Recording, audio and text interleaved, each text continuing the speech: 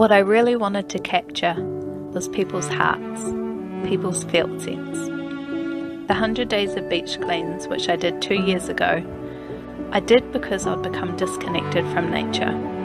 I'd become too busy to go on my daily beach cleans, and so I wanted to hold myself accountable by going out into nature, into the elements, every day for 100 days.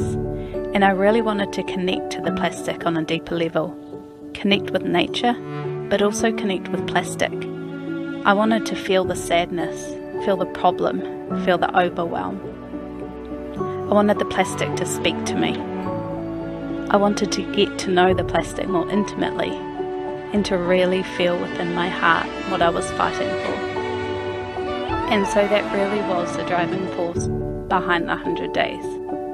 The long term vision was to turn every single piece of that plastic, large and small, dirty, broken, and ugly, into something that others could then be moved by, and into something beautiful. I wanted the plastic, brought in by the tide, to carry a message that others could hear.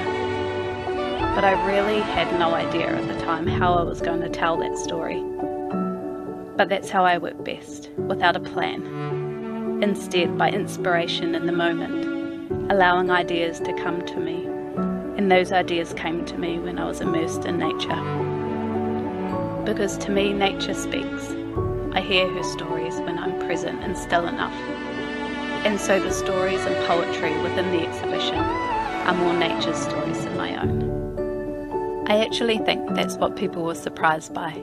They came for an art exhibition, but soon realised that it was so much more. It really is an exhibition of many facets. I love storytelling, and so I wanted the stories to capture people's hearts, to speak to people of hope, of sadness, of heartbreak and overwhelm, of joy and gratitude, the full array of emotions that I felt through my beach cleans.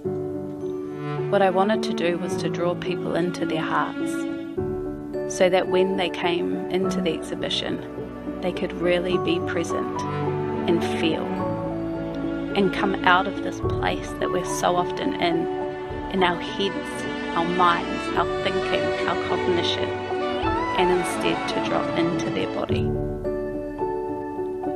It really was the most beautiful thing for me to witness hundreds and hundreds of people feeling deeply, being brought to tears and brought to sadness, experiencing the juxtaposition, the inner battle of being immersed in beauty, yet feeling so much pain simultaneously.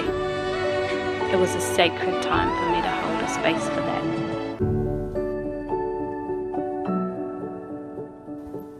The amount of plastic was nothing astronomical. I do believe that everything there could have been collected in one day with enough people at the right beach. Although a lot of people were really surprised by how much was there and what was there. And perhaps people didn't realise just how much is in our environment, on our beaches, in the oceans, daily.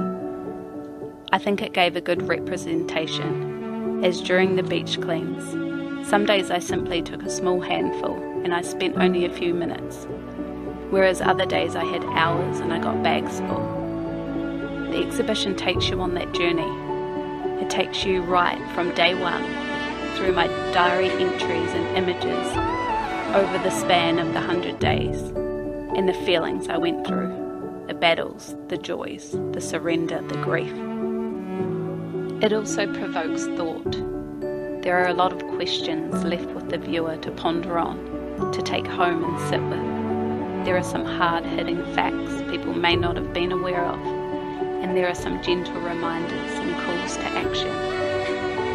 I think what brought people to speechlessness and astonishment was just seeing it all in one place. This made it really quite unique and really powerful, and gave an opportunity for people who are not exposed to the plastic pollution crisis to realise just how tragic it is.